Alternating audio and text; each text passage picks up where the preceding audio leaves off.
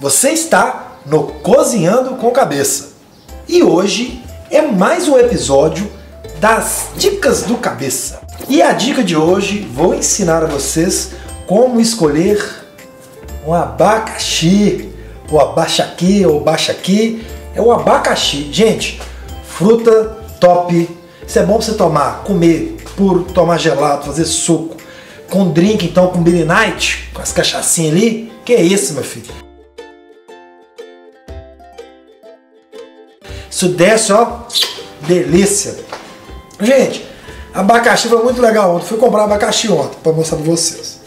O cara do Socorro chegou pra mim e falou assim: ó, eu lá escolhendo abacaxi do jeito que eu vou mostrar pra vocês aqui.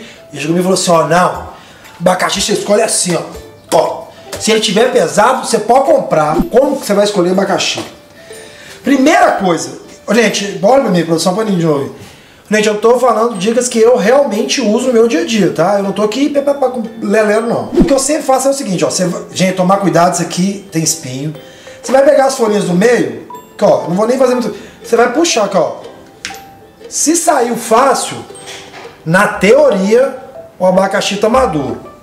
Uns falam que a coroa do abacaxi, quando ela está muito tempo fora, que a maioria das folhas ficam saindo fácil. Eu, eu discordo porque todos, todos os abacaxis que eu escolho e realmente são bons é nesse primeiro formato. Outra dica legal, você vai visualizar o seu abacaxi.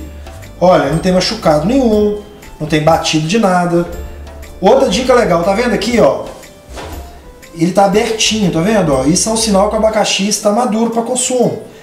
Olhe sempre o fundo. Se o abacaxi estiver saindo água, alguma coisa assim, sugiro a vocês a não comprar. Outra dica legal que você pode fazer que é meio é meio feio, dá uma cheirada no abacaxi. Se ele tiver com um cheiro muito forte, não é não tá bom para consumo.